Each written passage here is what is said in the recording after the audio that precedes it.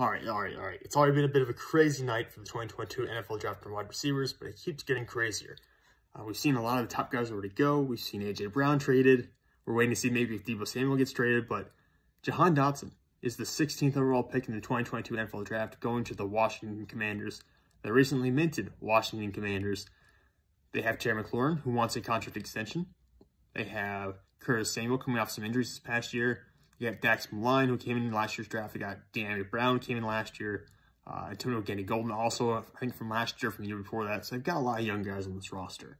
One they have to pay in Terry McLaurin, one who's getting paid in Curtis Samuel. And now you bring in Jahan Dotson, who I think they're going to try to play outside. They're going to probably play Terry McLaurin, Jahan Dotson on the outside with Curtis Samuel in the slot. I don't know how I feel about that. I think Jahan Dotson, for me, he's my wide receiver eight this entire draft. And I have a second round grade on him. So I'm not as high on him as Washington, clearly. Uh, the concerns with him being he's 5'11", 178 pounds. He can get blown on and he'll fall over. You know, you, a little breeze will trip him up and he goes down. He's not going to fight through contact. He has some twitch. He has some agility in short area space. He can make guys miss. He doesn't have elite deep speed.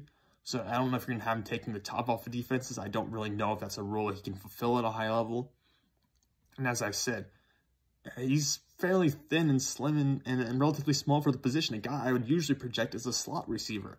And I think he has to play in the slot the next level, but apparently the commanders believe they can play him outside and keep Curtis Samuel in the slot. That's my that's what I'm assuming their thought process is with making this pick. That being said, Jahan Dotson was pretty productive this past year with Penn State. Uh, 91 receptions, 1,182 yards, and 12 touchdowns in 12 games. If you watch someone dumb like that, I think you can fall in love with him pretty easily. Even the year before that was solid too. Nine games for 52 receptions, 884 yards, and eight touchdowns in 2020. So back-to-back -back years of really good production from Jahan Dotson.